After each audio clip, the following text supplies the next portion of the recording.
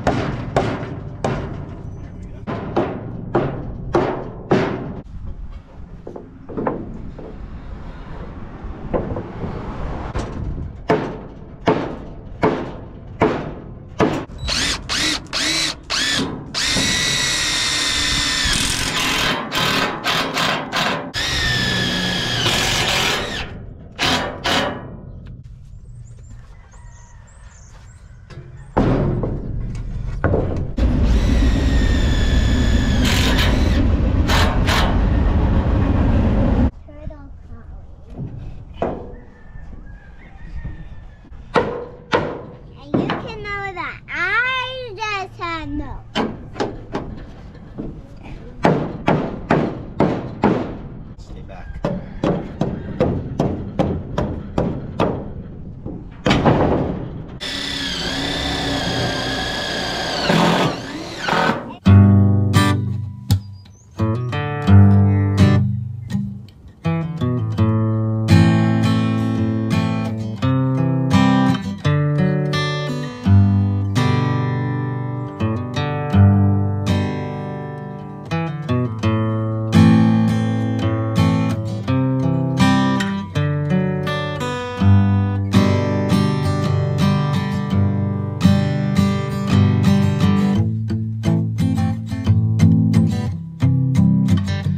at long last, the feed wagon is done, or at least done enough to where I can use it.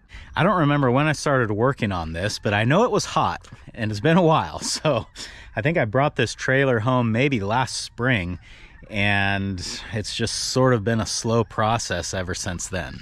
I'm not sure how I feel about the wood floor on the trailer with the big gaps like that. A lot of people suggested that I should do something like that to allow drainage. Not sure how big of an issue that's going to be for me, but at least this way I've used less boards and it'll be a little bit lighter. So there's a weight savings here and you know, that's not nothing. All in all, I spent very little money on this project. In fact, the only things that I bought new, especially for it, was the wood for the floor and the tires. Everything else was salvage metal or stuff that I already had in the shop. Obviously, I did use some new metal in the front, but that was stuff that I'd bought like a year ago. So I don't know if I'm going to count the cost of that metal towards this project. I already had these feed panels. These are repurposed. They used to be down in the little corral. A lot of this tubing uh, was panels or gates old ones that I wasn't using anymore. This uh, this pipe here is new actually, but again, I didn't buy it especially for this. uh, the sheet metal that I had, and the whole trailer itself was actually given to me by a friend. So all in all, I'm not into this a whole heck of a lot. So there's really nothing left to do now but put some bales in the back of this thing and start using it.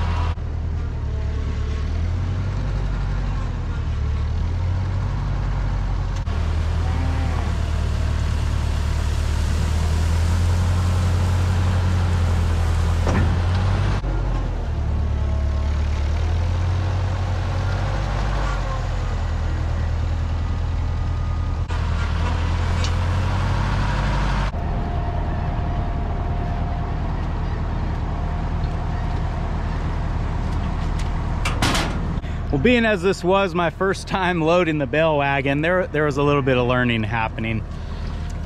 Originally, I had thought that I would lay all the bales down like this one in the front, cut the net wrap off, and slide them to the front like I did, but after getting under that bale and cutting it, it's like that's really not very safe. Not to mention the fact that now there's all this loose hay here. A lot of this is probably gonna blow out on the way to the winter pasture.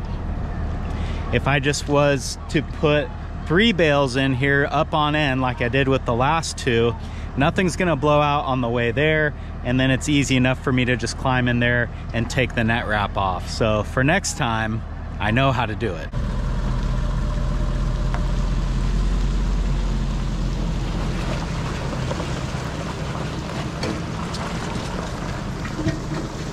Well, just pulled in over here and I was thinking about it. I'd be smart to take the net wrap off right now before I got a bunch of cows trying to get in here.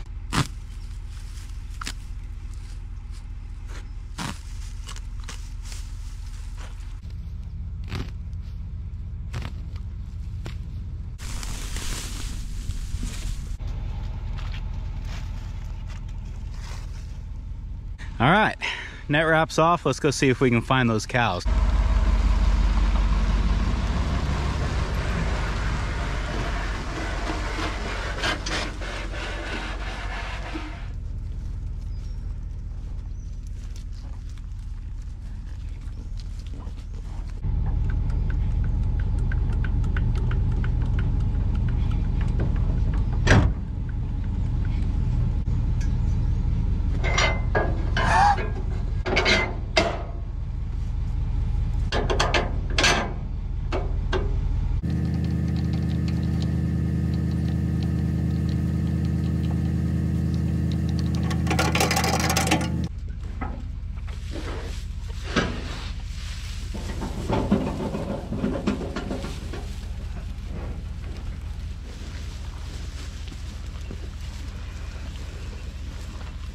Well, I got about half of them here, and it concerns me that I don't see the other half. So we're gonna walk around a minute and see if we can find them.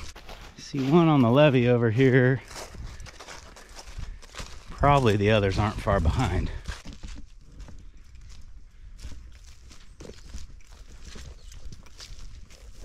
All right, I think I found the rest of them. They're all just kind of grazing along the levee. Some are on the other side of the levee. And they just don't know what's waiting over here for them. So I imagine that if they see me walking around here, they might figure out that something's going on, but I guess they'll find it in time.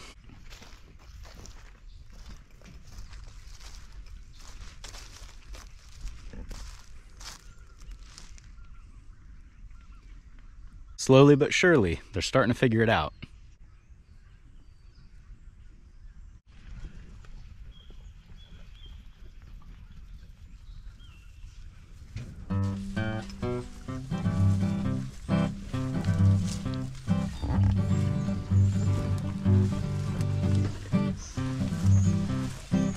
They're kind of making me laugh here because it's taken them a minute to figure out what this thing is.